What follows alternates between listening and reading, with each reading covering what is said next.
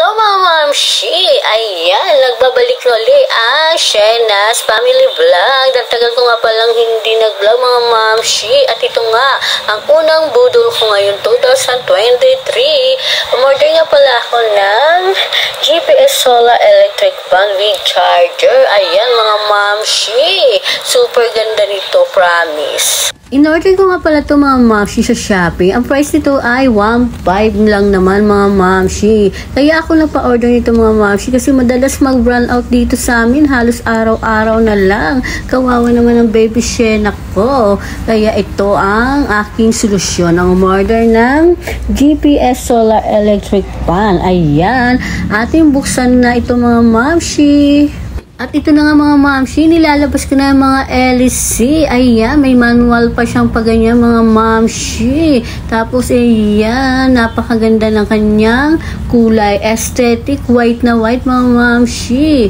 Ayan, complete na complete. May cord. Ayan ang kanyang ang kanyang solar, napakaganda at napakaliit. Tapos may kasamang ganyang bumbilya dalawa.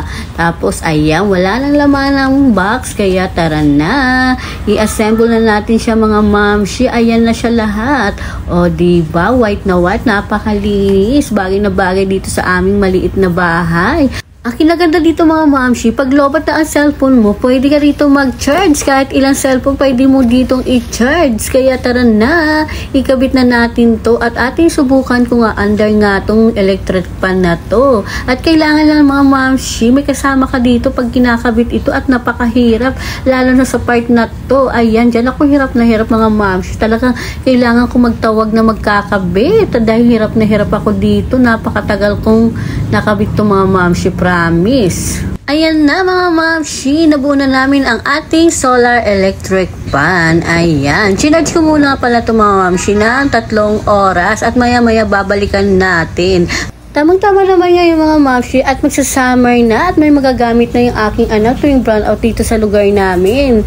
Ay ito talaga ang solusyon para para hindi mainitan ng ating mga anak. I-charge mo lang ng ganyan. Ayan, super lakas ng number 1. 1 and 2 lang ang pagpipilian nyo dyan mga mamshi. Ayan o, diba? Ang lakas-lakas.